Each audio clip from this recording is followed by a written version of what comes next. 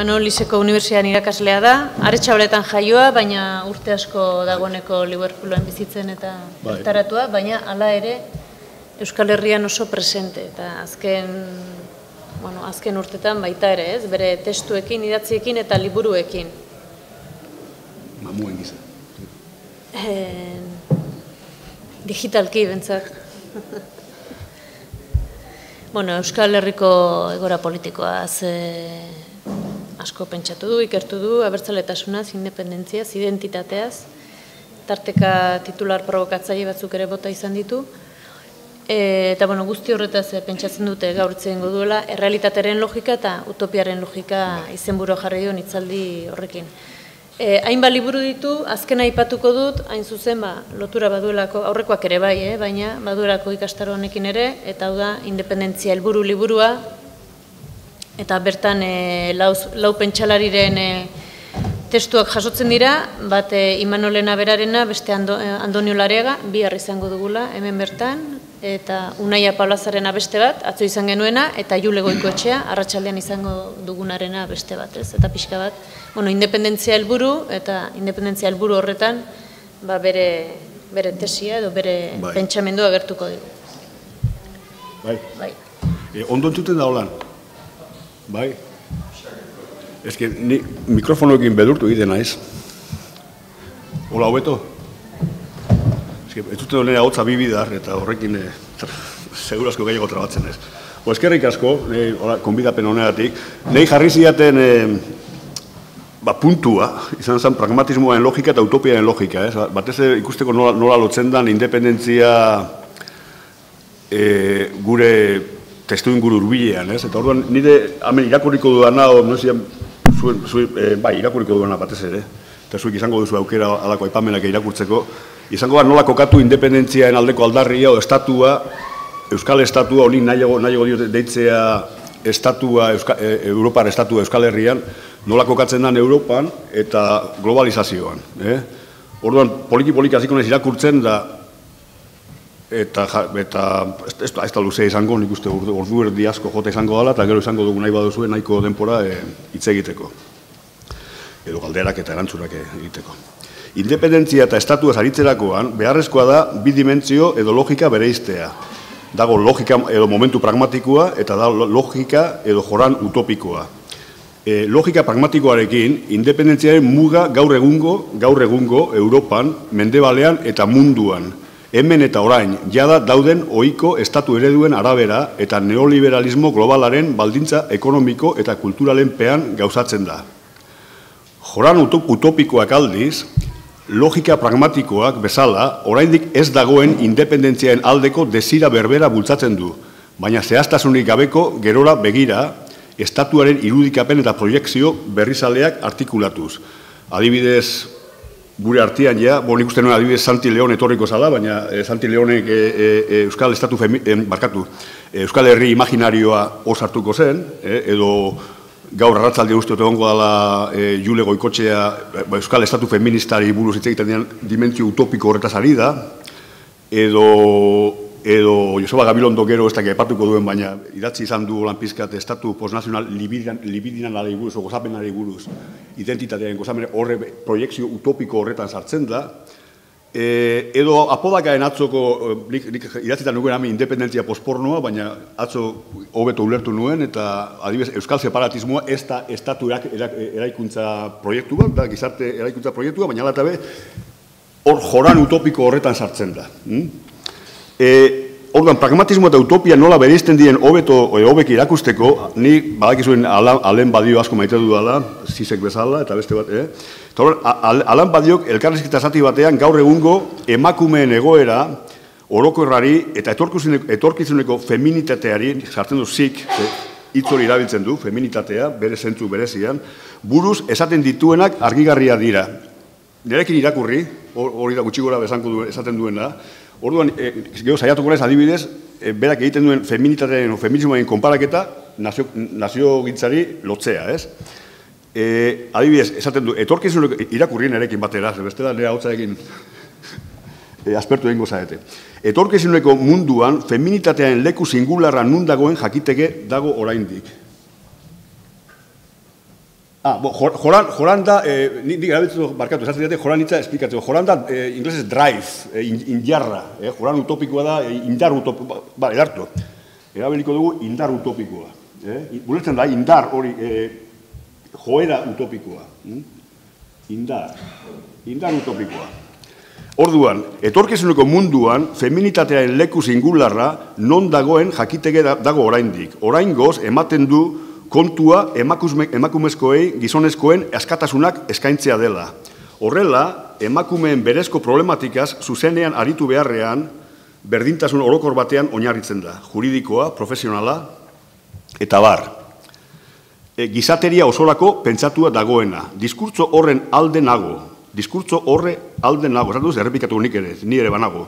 Baina modu berdinean, badakit ez duela adierazten singularitate femeninoaren ekarpen posiblea gaur egun dagoena, baino giza unibertso hobea sortzeko bidean. Ikusten duzu, nundi nola doan pizkat, dagoeneko, orduan. Gaur egungo gizartean ez dago ezer emakumeen gaitasun sortzailea, asmatzailea eta berritzailea bere espezifikotasun horretan azpimaratzen duenik. Azkenean, esaten zaiena da, Egin gizonek bezala, egin gizonek bezala, bai, baina jakinda azken finean objektu sexualak izaten jarraituko duzuela. Emakumeentzat arazoa zera da, da jakitea zein den humanitatearen etorkizunaren ikuspuntutik emakumeen leku berria, sortzailea eta berritzailea. Eta hori ezin daiteke izan, ezin daiteke laburtu, gaur egungo mundu modernoko gizonen imitaziora.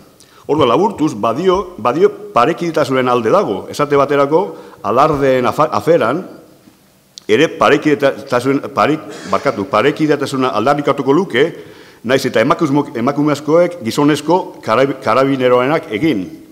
Izan ere, performantzia militante osoa, berdintasunaren izenean burutzen delako logika pragmatikoa. Berdintasunaren aldeko diskurtso horren alde nago.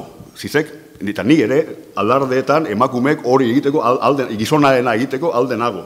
Eh? Baina modu berdinean, errealitatetik at, kokatzen diren, eta errealitate hori aldatzeko helburuekin zeruertz utopikoak delineatzea, beharrezkoa da, giza unibertso hobea sortzeko. Bai feminismoaren kasuan, bai gero aipatuko duan badioren e, e, gogoko zaion ideia edo hipotesi komunistarenan, Eta baita nola ez, dagokigun gaiaren e, inguruan naziotasunaz, independentziaz, e, pentsatzeko orduan. E, orduan hori da dialektika, e, bau, gero, gero, hori dialektika gero dator.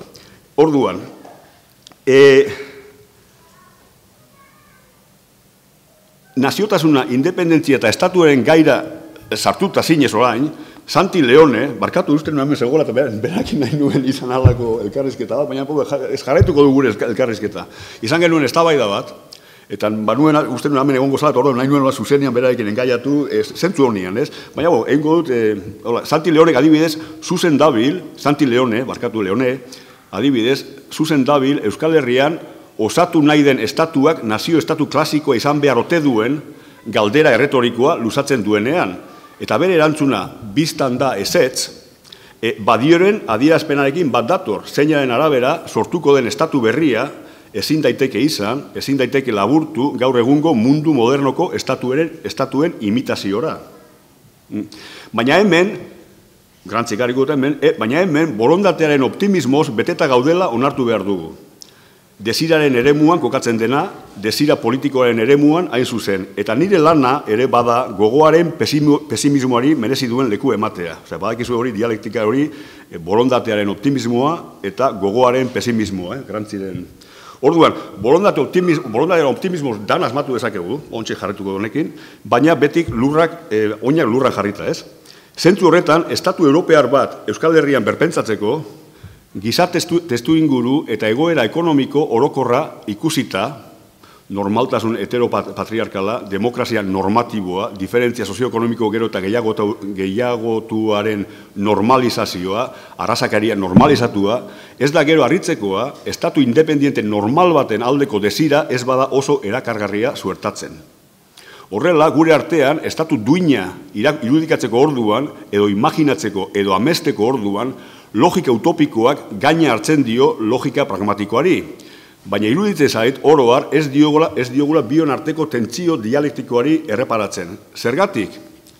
Ba, azken finean, estatu gintza utopia, estatu gintza utopia nozioarekin lortze, eh, lotzea problematikoa del, delako, errepikatuko dut.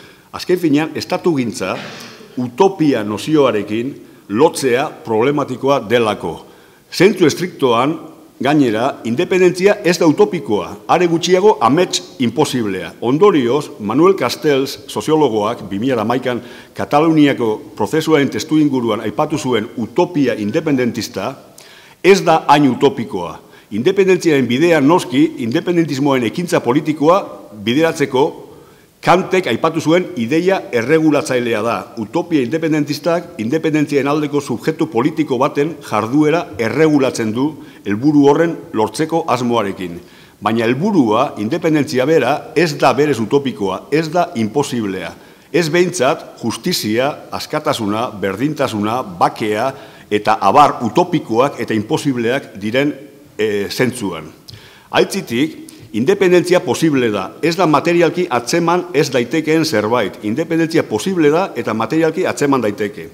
Estatuaren zeregina berez eta azken finean lurralde eman baten kudeak eta administratiboarekin lotuta dagoelako. Eta hemen pasatuko nahi pizkat, pizkat atzo egon zinenak eh, arratzaldian, ba, pizkat hau lotzen da, pizkat e, Zelai Nikolasek ematen zuen e, bidearekin, e, da, estatu, estatu da, administrazio politiko baten e, kudeatzea. E, orduan nik hortik abiatuko naiz, e, independentzia nahiko oso modu pragmatiko, modu prosaikoan defendatzen. E? E, e, zentzu zehatz honetan ulertuta, zentzu burokratikoenean ulertuta, izu zen, estaturik gabeko nazioen eta herrien, estat, eta herrien estatu burujabea lortzeko aukera politikoak areagotu egiten dira. Zalantzari gabe, independentzia politikoaren aldeko autua eta aukera mota askotako argudioz herri batitu daiteke. Ez da demokratikoa, herri txikiegia da, ekonomiki, ekonomikoki bideragarri izateko txokokeria eta abar. Baina borondate politiko zehatz baten bidez irekitzen ditugun aukerak diren neurrian, Europan bertan, zuzenean, estatu gisa parte hartzeko posibilitate zehatza beti dago irekia zer nahi direla kontrako argudioak. Eh? Eh,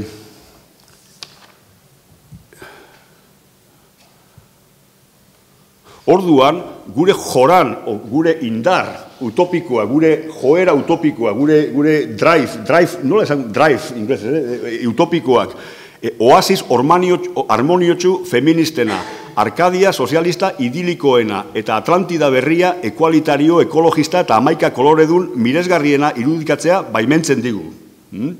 Eta ez da dila hemen inor ekibokatu hemen errealitate printzipioaren e, pragmatismo utzaren izenean teorizazio eta espekulazio hauetan denpora galtzea, inolaz ere ez da alperra. Osa, ni ados nago zeruen e, teorizatzeko eta espekulatzeko. Ez, ez, inor ez, da dira, nere, e, ez dezala gaizku lertu nere, nere, nere ikuspuntua. E, badio errepikatuz, gaur egun dagoena baino giza unibertsu hobea sortzeko bidean, imaginario politiko lantzea behar beharrezkoa da. Horren zalantzarik ez. Eta hortarako, utopia fantasiaskoenak artikulatzea proiektu politiko berian sartzen da. Hm? Arazoa da, independentzia bera gaur egungo Europako basamortu eta amezgaizto distopiko erreala baino errealagoan gauzatzeko beharra dela. Eh? Gauzatuko beharko dela. Hm? Osa, arazoa da, independentzia bera, utopiko izan da ere, gaur egungo Europako basamortu eta amezgaizto distopiko erreala baino errealagoan gauzatuko beharko dela. Testu, da, gauden testu inguruan. Hm? Bestela esan da, Euskal Herriko estatuaren muga, fiziko eta simbolikoa, gaur egungo Europa errealean kokatzen da, eta estenzioz mendebalean eta mundu globalizatuan. Eta berdintasun politikoaren printzipio unibertsala inbokatzeko orduan, nazioen arteko parekidetasuna, esan zagun, eh, feminismo dikartuta, hemen eta orain, hogeita bagarren mendeko masierako Europan eta mundu globalizatuan jada dauden ohiko estatu antolaketa moduen nola baiteko errepetizioa edo imitazioa implikatuko du hor bait. Hmm? Berez, eh, joateko badioren eh, aipamenera. E, independentzia helburu politikotzat onartuta dugunontzat, beraz, ezin da Euskal Herriko estatu duin batez hitzegin gaur egungo Europari buruz eta globalizazioi buruz hausnartu gabe. Are eta gehiago, jakinaren gainean egonda, gaur egungo Europak, edo Europar batasunak, behintzat, ez duela entusiasmo, jartzen dut gakotza artian, apartikorik eragiten. Eta globalizazioa bera, mehatxu gisa, ulertzen dela maiz, independentziako, independentziako aukera bezala baino. Hmm? Orduan, hori izango da mendik, eh, datuzen amara minutan, eh, du Europaz eta globalizazioaz, eta eh, independentziaren kasua, Europan eta globalizazioan. Euskal Herriko estatua gaur egungo Europan aldarrikatzeko kasuan, badiok aipatu feminismoaren paradoxan aurkitzen gara. Paradoxa berdinean. Hmm? Feminismoaren gertatzen den bezala, berdintasunaren edo nazioarteko parekidetasunaren izenean, independentziaren aldeko aldarria bera behartuta dago inguruan dagoena imitatzera edo neurri normaltzat hartzera. Kontua da noski, dagoena ikusita lehen esan dugun bezala, hau da inguruan dauden mendebal estatuen egiturak eta...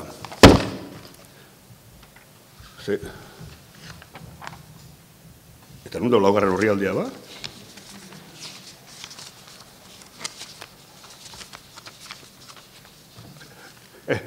Jesus, Maria eta Jose, nola egin dugu hau? Bat, bi, hemen da.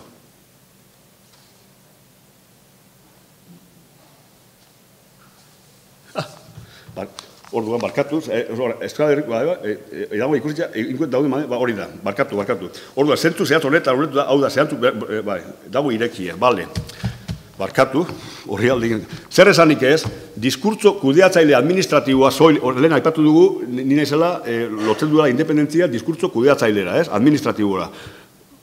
Tartekatu bi horri alde, baina argudioa jarraitzen du. Zer esanik ez, diskurtso kudeatzaile administratiboa soilik azpimaratzera egin tentuz ibile beharra dago. Alere, estatu erakunde kudeatzaile giza irudikatzera beharrezkoa da argi eta argi argi eta garbi ikustatzeko estatu berrien eraikuntza ez dela inolaz ere imposiblea. Estatu berriak sortzea posible dela Europa barruan, hori da kontua, barkatu.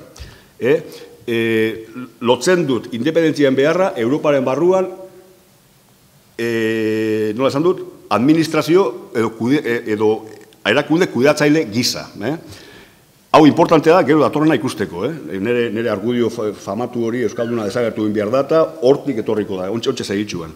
Europari buruz aritzerakoan, ohikoa da salatzea eta beharrezkoa, Europar batasuna nazio estatu desberdinetako iritargoan eragin gutxiko edo bestela okerreko makroburokrazia dela. Bakarrik kapital globalaren mugimendu askea baimentzen duela, eta ez jendartearen garapena. Europar batasunako egungo migrazio politikak salatzea beharrezkoa da modu berdinean. Are, Europako gizartean, gizarteetan, gero eta modu beldurgarriagoan, gora doan arrasakeria, islamofobia eta antisemitismoa. Baina gure gaia, buru jabetasuna baldin bada, edo independentzia, galdera ere zuzena da, non kokatu behar dugu estatu berri hori, ez bada Europa distopiko horren barruan. Osea, egin duzu lotura, ez? Apurua trabatu nez, baina, bueno, lotu dugu berriz. Baina gure gaia buru jabetasuna baldin bada, edo independentzia, galdera ere zuzena da, non kokatu behar dugu estatu berri hori ez bada Europa distopiko horren barruan. Hmm? Ara hor paradoxa, independenteak edo estatuen bitartez herri gisa libre izateko modu bakarra Europaren baitan da. Independentzia Europako garaian, garaiko baldintza eta arau ekonomiko, juridiko eta politikoen barruan gauza daiteke bakarrik. Horrek esan nahi du, independentzia ez dela orduan posible izango, egungo estatu espainiarraen zein Europar batasunean galdera, markatu. Horrek esan nahi du, independentzia ez dela orduan posible izango, egungo estatu espainiarrean zein Europar batasunean bertan ez dagoelako independentzia baimentzen duen arautegirik. Ez, arauak ez dira inoiz iraunkorrak eta aldatu ere egin daitezke. Edo bestela esan da, aldaketa bera guk Europako herritarrok bultzatu beharko dugu alor guztietan. Eslabo zizekek Euskal Herrian bertan behin esan zituenak argigarria dira hemen. Ea, arkitzen dudan hemen. Badakizue, eslabo zizek egon zela Euskal Herrian oin dela lau urte, bos urte, eta izioten elkarrizketa bat berrian, eta onartu behar dugu, ba, e, e, zizek izango da nahi duzuela, baina gutxinez Euskaldunen laguna ere badala, eh, hor non bait. Eta hori ikusiko duzu hemen, aurkitzen badut, bai, eh? irakusten da, jarriko da hundiagoa, amalau, eta batera irakurriko dugu. Uste dut, Europear batasunaren barruan, e, zenbat eta Europa indartsuagoa izan, on, gaur ikusi du, azken astean ikusi duen paradox, hau, bai, hau lau, lau urte dela esan zuen, eh? baina bueno, uste dut, Europar batasunaren barruan bertan, zenbat eta Europa indartsuagoa izan, hainbat eta handiagoa izango dela zuen, eta dabil gu zuzentzen, eh? gu euskaldunok zuzentzen, zuzenean, eh? zuek euskaldunok autonomia espazioa, eh? handiago izango dela zuen autonomia espazioa. Europa batuagoa dagoen neurrian, hain zuzen ere, zuek Espainiar nazio estatuari kontra egiten diozuen neurrian, unibertsalagoak zarete. Hain zuzen ere, zuek Espainiar nazio estatuari kontra egiten diozuen neurrian, unibertsalagoak zarete. Hori izan behar da zuen argudioa. Unibertsaltasunaren indarra zuek zarete, ez Espainiako estatua. Eta uste dut hori ezinbestekoa dela Europa batuarentzat. Eta nik oraindik badut esperantza Europan. Hau zizek da. Hm? E, denboran askoz ere gertuago, itxaropen antzelakoa adirazu du Janis Barufakisek, Europar batasunaren demokratizazioak, Euskaldunak eta Eskoziarrak estatua eskuratzeko bideak errastu egingo dituela azpimaratzen duenean.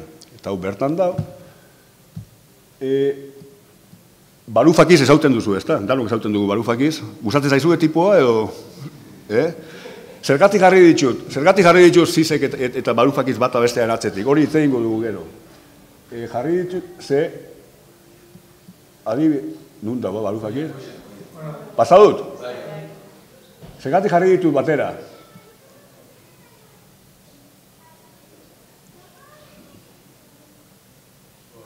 Bai. Zergatik jarri ditu batera.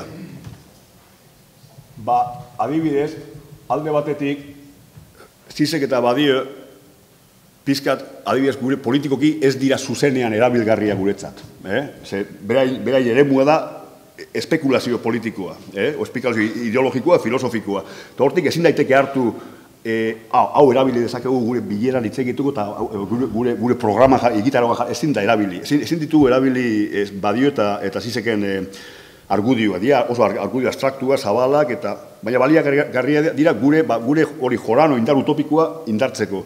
Barufakiz aldiz, barufakiz, ba, badakizu zuek, barufakiz dala, izan, izan, izan dala, dagoen teoriko nagusiena, joku teorian.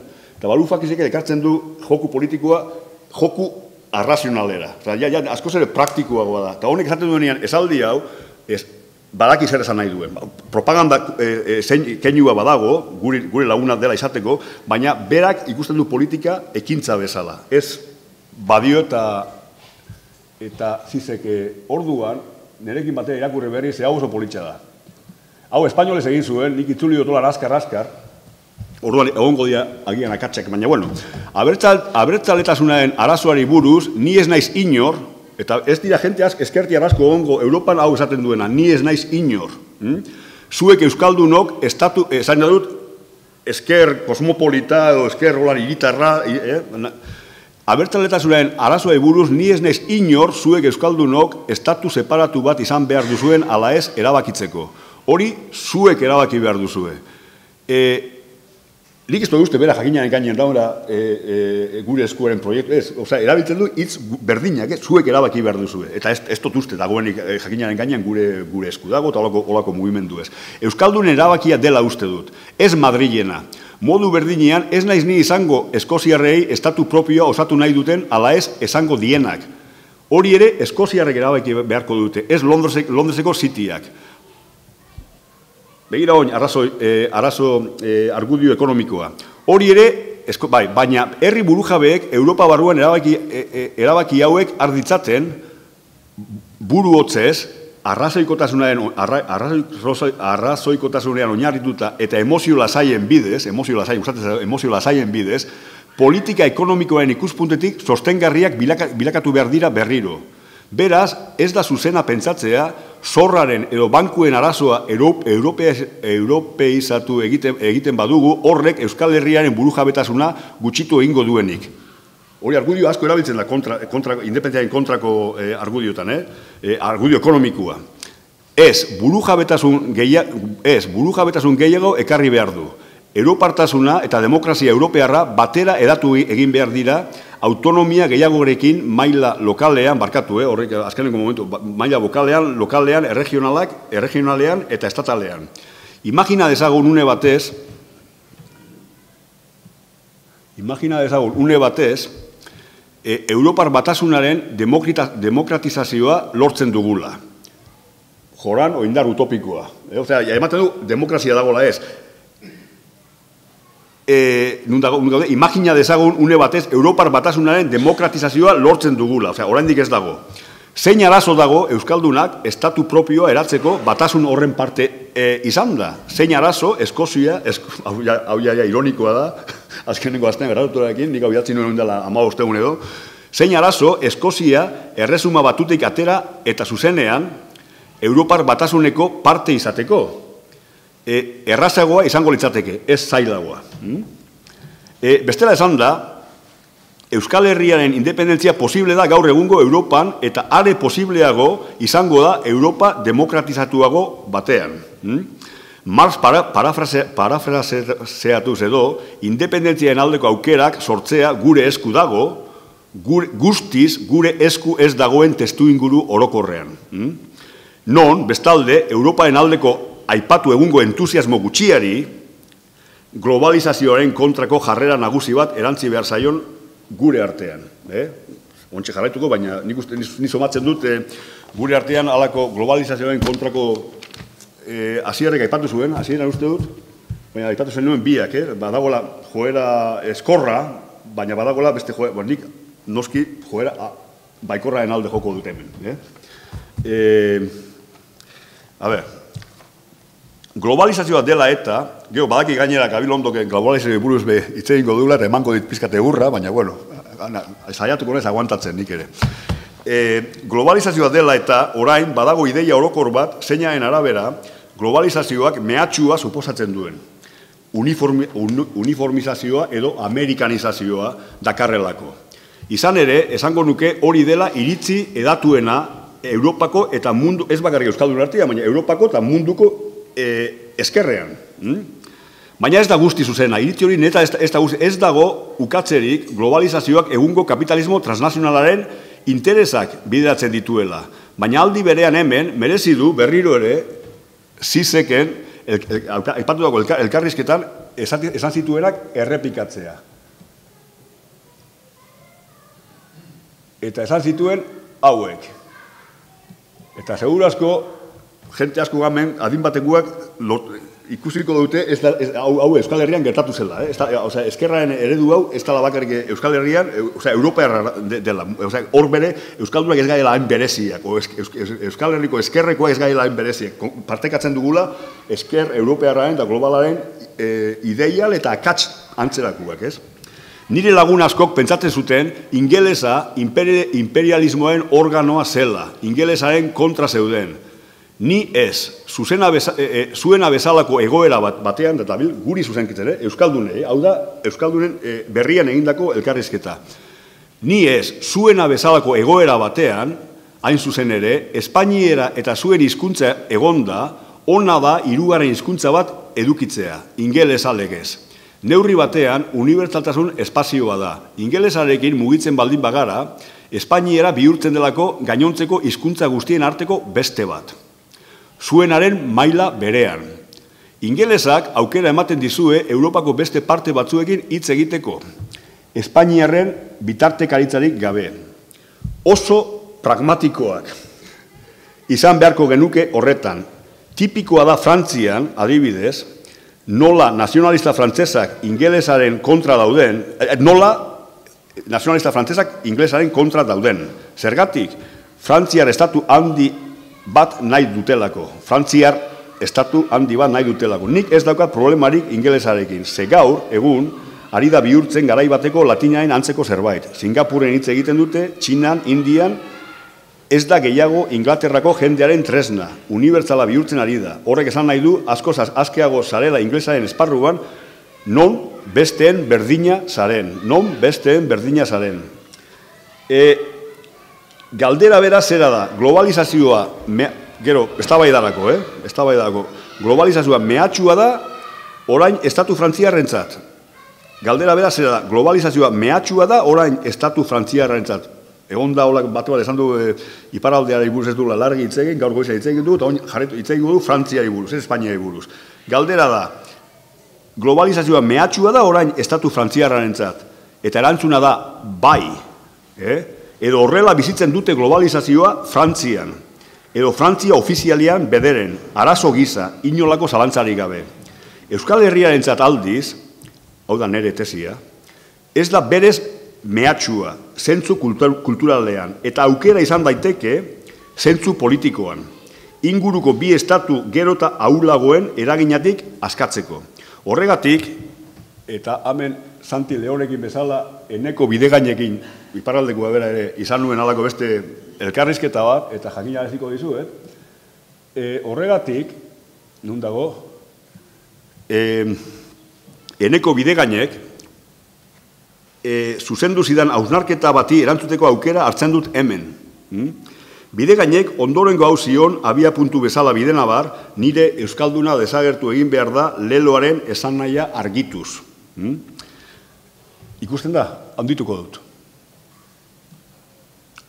Hau da nire, amalau,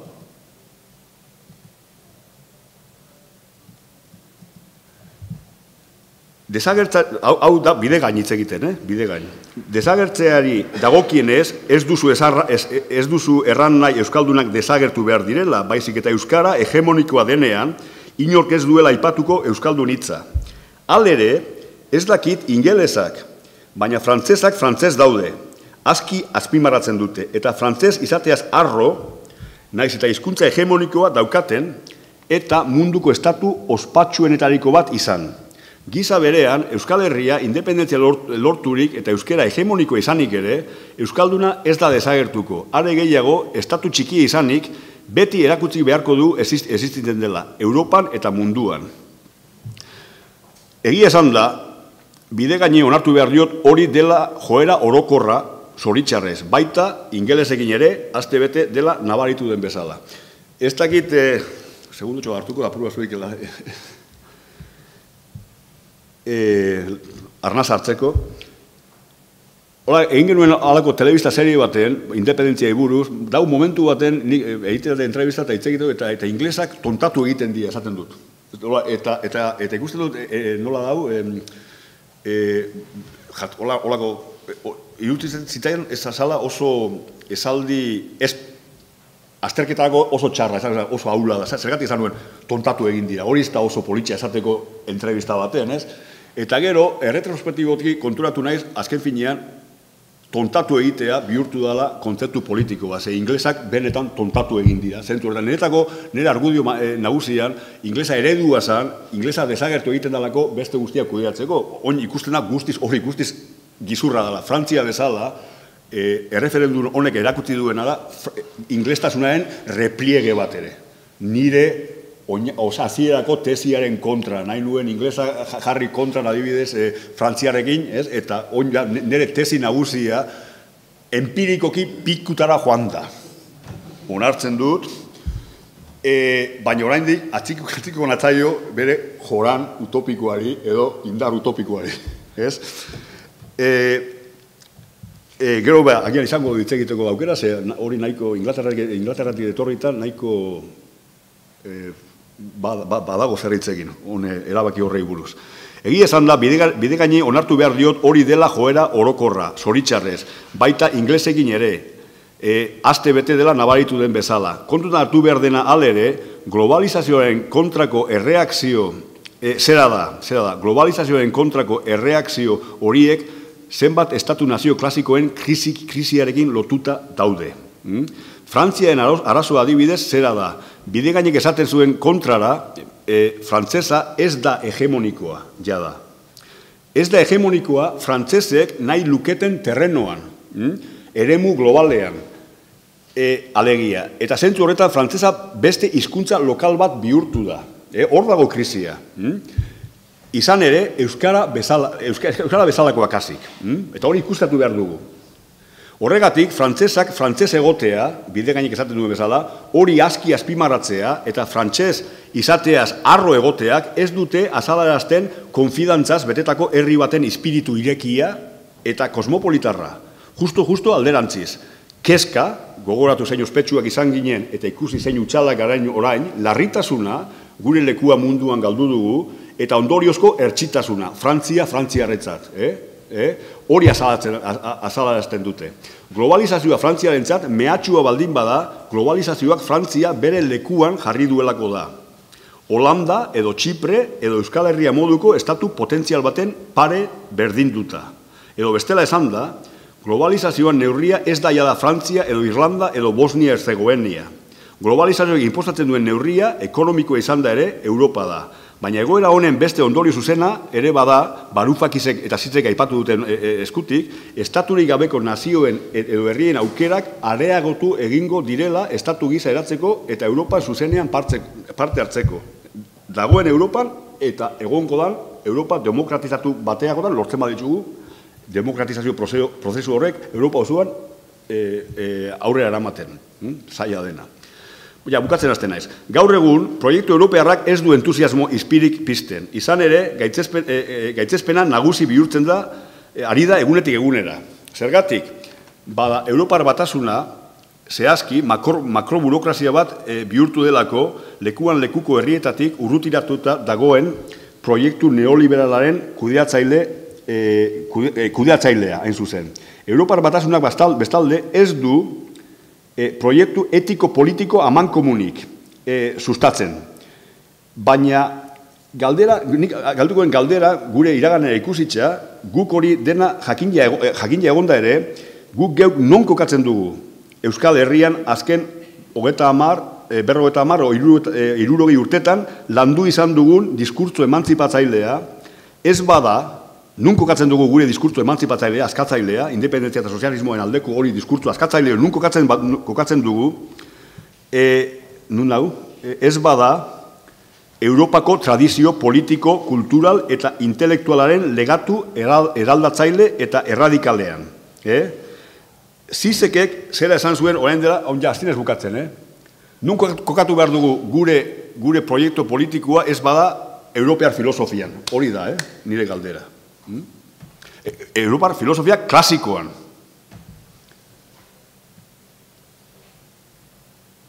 Eta hemen, zitzeke erakutiko digu, kudeatu behar dugun kontradizio nagusia. Hmm? Eta hau poliki-poliki irakurri behar dugu, hau bai da astuna. Hmm? Poliki-poliki irakurriko dugu, eta emango digu denpora. Legatu mendebaldarra ez da bakarrik dominak, dominakuntza postkoloniar imperialistarena. Badena, eh? Era berean, mendebaleak irugarren munduan burutuz duen violentzia eta zapalkuntzaren hausnarketa autokritikoa ere bada. Jarri irugarren mundua eta jarri Euskal Herria. Eh? Eta ikusiko duzu poliki-poliki nola, nola, nola zentzu gehiago hartzen duen. Hmm? E, hausnarketa autokritikoa da. Frantziak Haiti kolonizatu zuen, baina irautza frantziarrak esklabuak askatu zituen, eta Haiti independentia eratu zuen matxinadarako oinarri ideologikoa ere eskaini zuen. Hmm?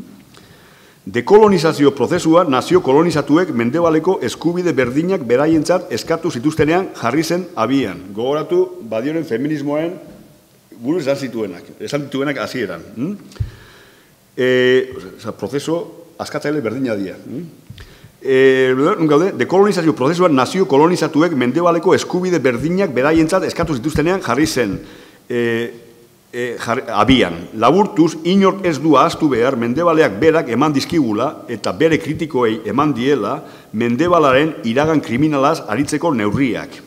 Hemen, forma eta edukiaren arteko dialektikari buruz ari gara. Herri kolonizatuak Euskal Herria, independentzia eskatu eta sustraietara berrilutzera, e, ber, berril, berri lutze, e, berri lutze, no, berri tzulera, berri tzulera, eh, er, sustraietara berritzulera e, burutzen den dutenean, berritzulera horren forma bera, estatu nazio independientiarena, mendebaldarra da.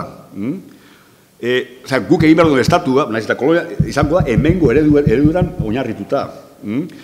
Galtze horrekin bada, kolonizatu galdu, mendebal, Dom, e, eta mendebal etxegiten, e, nabil etxegiten ideologia dominante batean buruz, eh? gu mendebal baina beti izan dira subordinatuak. Osea, mendebaldeko ideologia dom, dominanteak azken finean irabazi egin du.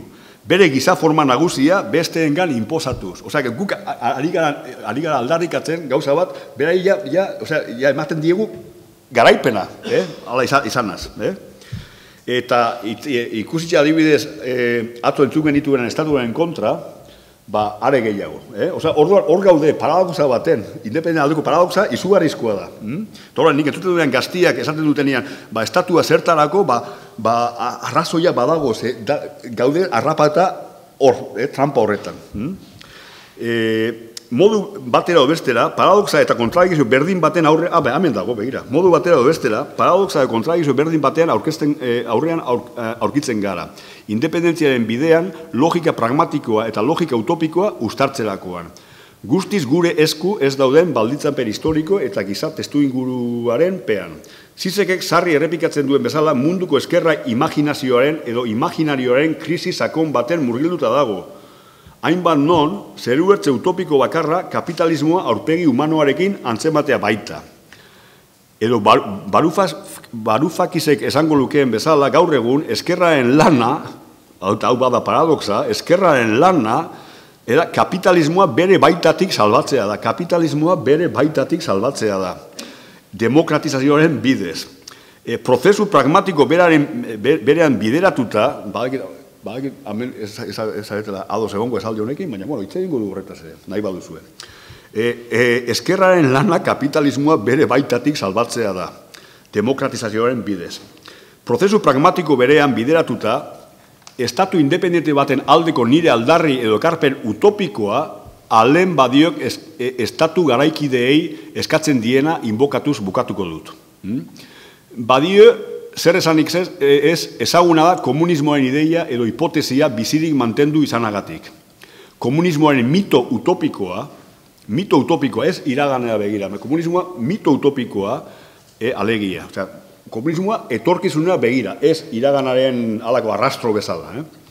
Ideia edo hipotesi horren joran utopikoa, indar utopikoa, nabaria da. Badioren arabera, aman komunaren zentzuak politikatik kanpo aurkitzen diren diferentziak barneratzeko gauza izan behar du. Jendeak hau edo bestea izatea du, baina hemendik edo handik etortzeak, hemen edoan jaio izanak, hizkuntza hau edo bestea itzegiteak, edo kultura honetako edo beste alako izateak ezin du ostopo izan aman komunaren ideiaren alde zuzenean parte hartzeko. Hmm? Hori, gabit, hemen indar utopikoarekin. Komunismoa ideia utopikoa da hortaz, hasieran aipatu zentzu erregulatzailean, giza unibertsu hobea sortzeko bidea erakusten duena. Hmm? Niretzat. Bide horretan, merezi du gogoratzea, utopia komunistak estatuen amaiera ikustatzen duena. Hmm? Baina badiok dion bezala, estatu ez da bihar desagertuko. Hmm? Arazo orduan da nola islatu e, e, logika utopiko horren ardazten den diskurtzu askatzaile, logiko, logika utopiko, komunismoen logika utopiko horretan ardazten den diskurtzu askatzailea estatu gintzan. Nola islatu hori. Badioek, benetako estatu garaikideak kosmopoliterrak izan behar direla bere identitateen konfigurazioan guztiz zehazkabeak dio. Eh? Badiok, benetako estatu garaikideak, errepiko, badiok, dio, benetako estatu garaikideak kosmopolitarrak izan behar dira. Beren identitateen konfigurazioan guztiz zehazkabeak. Nabil, estatuaz, ez nabil, gizarteaz. Eh? Ez nabil, gizarteaz. Nabil, estatu fetitxizatu batean, estatu kudeatzaile administratiboaz. Ez nabil, gizarte, estatuaren kontra burukatzen duen esta, e, e, gizarteaz. Obe, eh? Eh? Herriaz, ez nabil, eh? Obe, o sea, ule, ja, poliki poliki gauza guletzeko eta, eta, eta, eta ere muak bere izteko. E, Orduan, badaki badagoela estatuen fetitxizazioa, eh, nik abezaten abilenen. Hm? Ondo. Eta hori, zela badakiten gabilondo esango diala, orduan aurreratzen dut kritika. Orduan, nun nengoen, bai, benetako estatu garaikideak kosmopolitarrak izan behar direla bere identitateen konfigurazioan guztiz zehazkabeak. Hau da, estatua, estatua bera inolako predikatu arrasasko, erreligiozko edo orokorrean kulturalen erortzen ez den neurrian da bakarri baliagarria. Badio jarraitzen duen bezala, demokrazia moderno posiblea inolako predikaturik faktoretzat antzeman gabe nor nahi edo, edo nor kontuan hartzen duena da. Hmm? Esaldi honetan, azaltzen den arauaren ondorio zuzena hortaz, Euskal Herriko estatua bera, arau horren salbuespena izateko inolako arrazoi onargarrik ez dagoela onartzea litzateke. Eta esango dut esaldi hau, berriro. Esaldi honetan azaltzen den arauaren ondorio zuzena, Euskal Herriko estatua bere arau horren salbuespena, Euskal Herriko estatua bera arau horren salbuespena izateko inolako arrazoi onargarririk ez dagoela onartzea litzateke. Bestela esan do, estatu horrek bere burua estatu euskalduntzat aurkestean kontra esan zuzena litzateke. Hmm? E, e, e, euskalduntasun kulturalaren garai subordinatuei segokion astarna edo arrastro arkaikoa. Nikola ikustu du prozesu hortan. Eh?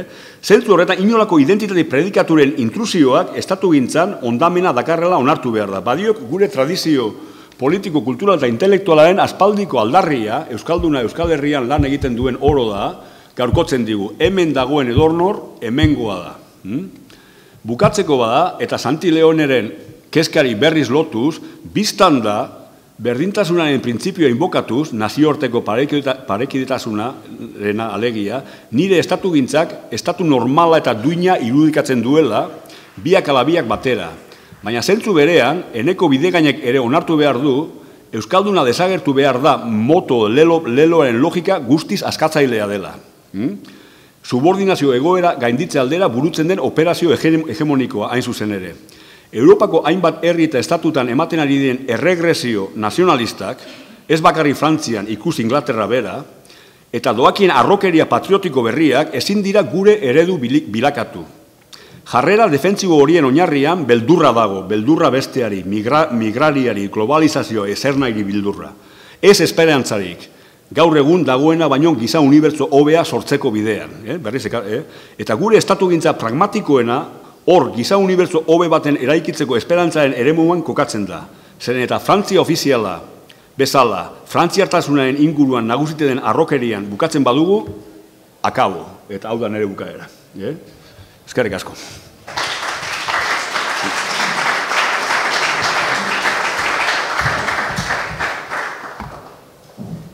Zatu nahi zo, zenbat egin dut? Zenbateko izan den eri, itzaldia? Ostia, vale. Bueno, motza guai nahi nuen, baina. Bueno, eskerrik asko. Bai. Manol. Galderaik, badago, nun bait?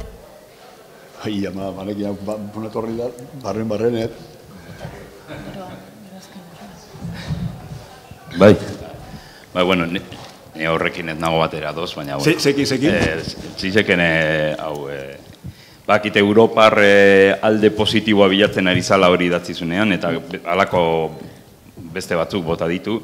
Mm. Hau da, eh, adibidez, Europar eh, kontzientziaren oberena ez dala kristautasuna, ateismoa dala, mm. eta bar, eta bar. Ja, bueno, hau, sartu alda diskurso neokolonial baten barruan. Bakarri falta da esaldi bat esan ez egazkinak eta zibilizazioa eraman du. Ara, bueno, Beste, beste kontu bat zan, eh, bueno, eta kristautasuna jakina. Beste kontu bat da. E, nik ez, e, bueno, Euskalduna desagertu behar den horretan enazatuko. Eskerrik asko. beste batera utziko. Hau da, nire bazkeneko itzaldi hori abeliko. Beste batera utziko dugu, edo beste batek zan dezala. Nik e, utopia eta e, pragmatismoaren artean egin duzun, e, bueno, planteatu duzun, edo erabili duzun kontraposizio horri kontra egin nahi diot. Nik ikusten dute, utopia, e, igual, utopia bera nola erabiltzen dugun eta nola erabili dugun, e, aztertu behar dugula, ze azkenean utopia esaten dugunean ez da e, nola baite ideologia eratu ondo formalizatu bat, edo diskurso, edo liburu batean agertu, bueno, olako eredu ideal bat, ezik eta eguneroko bizitzan, egiten ditugun gauzei ematen diegun balio eta zentzua. Bai. Eta alde horretatik egiten ditugu gauza asko, e, nolabait e, pragmatismo utz eta hot batetik azaldu ezin direnak. Zan nahi dut, a, pragmatismo hori identifikatzen baldin badugu batez ere, e, arrazoi instrumentalarekin eta gaur egun, e, e, ez dakit nola esan, etekinarekin edo bai. batez ere etekin ekonomikoarekin identifikatzen baldin badugu. Mm.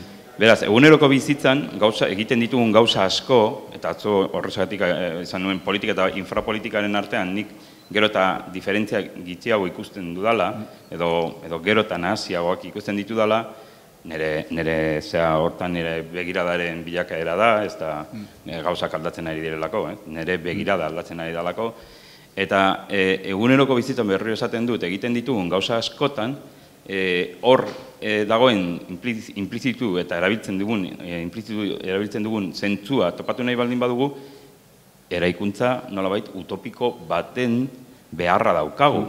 Hau da, esan behar dugu, hau egiten dugu ideal batengatik. Bai. Ideal hitza, ez dakite, soziologoek eta psikologoek balio edo balorea erabiltzen dute, ez? Baina hortan daude gure utopiak. Eta horrezagatik izaten du pragmatismo utopiko bat dugula eta behar dugula eta egunerokoan eta batez ere motivazio politikoari begira zu planteatzen duzuna alde horretatik utop, pragmatismo utopiko bat da. Bai, Bueno, hortatik, besterik gabe. E, alde horretatik, nik uste dut, aztertu behar dela, ez dela bat, bat bakarri planteatu behar. Hemen e, nolabait e, duz, diskurso utopikoak eta eta nolabait bihar egin behar dugun horretatik oso urrun daudenak, eta beste aldean e, errezetak. Hau da, proiektu planifikatu eta e, modu e, barufak izen joko, zera, teoriaren Bai. eredu horretan ere, modu oso e, arrazionalean egin daitezkeenak. Nik uste dut, erdian egon behar dugula, Ba, pragmatismo utopiko horretan. Nik uste hori adierazten dudana, ez? Bie batera dialektikoki ikusi behar dirala. Adibidez, hau, hau sortu zen eztabaida, lehen aipatu duen eztabaidan ondoren, jarri zasi datenean, lehenengo behia jarri behar dira eta, eta gero burdia, ez?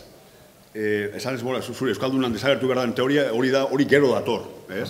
Eta nik esan, ez, e, e, eta gero, gutxi gora gauza bera esan dut hemen, ez? Utopia eta, eta pragmatismoa batera doaz. Eta utopia egiten duena erregulatzen du zu- zu- zure jarrerak, erre- erregulatzen ditu. Baina gero badaude beste, be- beste baldintzapen batzuk ere, gure esku ez daudenak. Gure esku dago gure utopiak praktikan jartzea. Adibidez, beti gaude gentiaren, gentiaren gan, jendearen gan, kontradizioen e, bila, ez? Sozialista zara eta, eta BMW dauka, ez, e, o, ze, zu, e, ekologiz, e, bi- bigana zara eta zapatak e, larruzkoak dira, beti gabitu hori kontra, o sea, emate, bigana izatea ematen dizu e, indar utopikoak, baina gero sekula ez duzu hori beteko zure eguntasunean, baina ematen dizu, ematen dizu halako ideia erregulatzaile bat zu biga, biganoa izateko. Eh? Hor, hor guztiz ados gaude. Gero beste puntua da, gure eskuen, gure, gure esku zer ez dagoen, zer dagoen da zer ez dagoen. Eh? Mm? Baina guztiz ados, biak batera dialektiko doazela. Ez du, ez du bere izten. Ole, ole.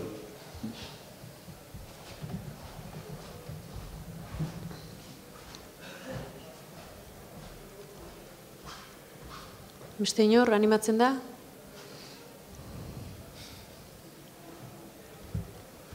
Ai, zordu da. Eta laurdena. Gero ingo dugu, aminutu. Vale, ba, orain... Eh, ere ezin, ezin, ezin du aguantatu. Duzu behin da berriz, eta Ez que, ba, uste nuen hemen ongo zara, Bai. eta horra esan nuen. e, gonbidatua izan zen, Bai. e, tortzera, Bai. eta baiezkoa eman zigun, Bai. baina ez dakit berrikitan ere argitaratu du, bueno, eszedentzia batean zegoen Bai. idazteko, ez du idatzi, eta oso gizon apurtua da e, horregatik ere. Abonat, honea torri behar zen gure, gurekin animatzeko. Azkenean, e, baietza eman ondoren, ez etza eman zigun. Ah, ordo, ba, ba, baina, bueno, ez, Eh, ez, ni jarri nuen nire, nire itzaldian, ba, berak, berakin eh, izan genuen eztabaida ni ondoren, ba, hemen, jar, hemen jarraituko dugu. Etorri nahi zuen, baina gero ez ez, eta azkenean, kale. Jarraituko dugu. Bo, Estreminoan ikusten nengo da, ziur. Ah, bai, ba, kaixo orduan. Estatuta. Bueno, ba, orduan e, kafearen tartea, e, laurden gutxitan hemen, kontuan. Vale, vale. Eskerrik asko. Zati ez duzu galdutu zu bat? Eh? Uh, markatu, zati ez duzu galdutu zu. into jazz and voodoo. Well, switchblade.